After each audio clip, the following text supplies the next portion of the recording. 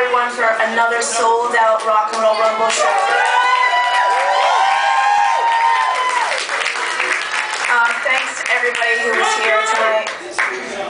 Thanks to all the bands who just pulled it out. Uh, thanks to the Rumble bands who are not playing tonight that are here in the audience. Every band appreciates the support that you guys bring, so we love you for that. Our judges tonight, Scott Shady Lerner of the Noise Magazine, Noise Fanzine, uh, Hardy from WBCN, afternoons 3 to 7, John Laurenti, music director of WUMB, Johnny! Josh Smith of Mass Concepts, and Steve Theo of Pirate. Gene Dante and the